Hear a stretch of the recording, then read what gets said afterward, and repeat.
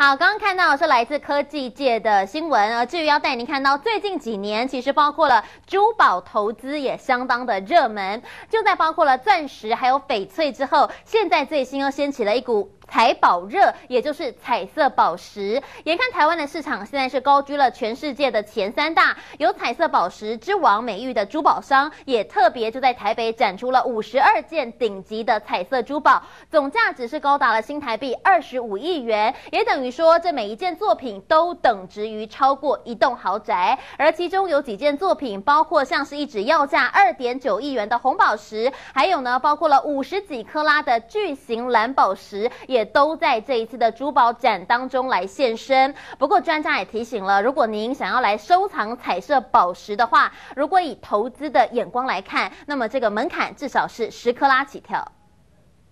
带大家来看到这场展览呢，是由顶级珠宝选台湾当做全世界第一站的珠宝秀，而这里头呢，总共展出了五十多件珠宝，总价值高达了二十五亿元的新台币，而其中呢，像是这一条白 K 金的钻石项链，总价值高达了三点一五亿台币，等于是三栋豪宅。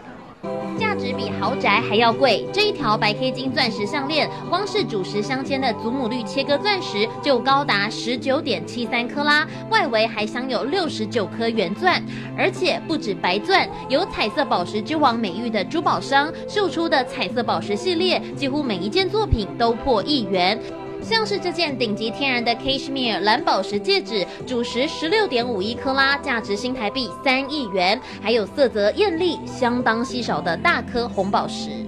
哇，像这样子的红宝石，其实光是试戴在手上都觉得很紧张，因为呢，光是这一颗红宝石，它的市价就高达了二点九亿元，而上头这颗红宝石的克拉数更是高达了十一点九二克拉。像这样，大家可能会觉得真的是一个天价。不过现在有很多的富豪把像这种彩色宝石当成艺术品来收藏。戴在 model 身上的都还是有标价的顶级珠宝，而放在橱窗当中的，则是真正的无价之宝。就特别就是有一条，就是呃祖母绿主石啊，高达四四的克拉的部分的一个古董项链。那这个古董项链呢，最主要呢，它是呃灵感是来自于呃是意大利的一个就是圣罗伦佐教堂。那里面有一个八角半形的一个窗户。那这个八角的部分，这个八方的一个意涵呢，其实在建筑里面是相当吉祥的意义，呃包含了像天圆地方。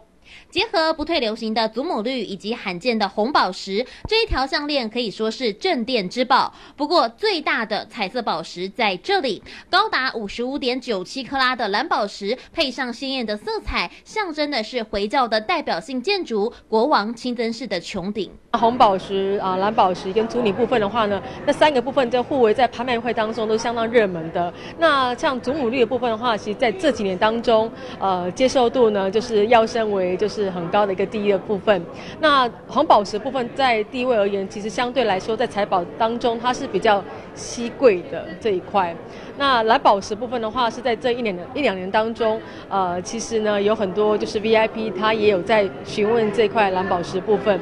专家观察，近年来黄金没落，反而是彩色宝石屡屡在国际拍卖会上拍出天价。专家提醒，如果以投资角度来看，收藏彩色宝石最好十克拉起跳。在钻石热、翡翠热之后，最新的彩宝热正在接棒演出。记者吕若杰、詹明化台北报道。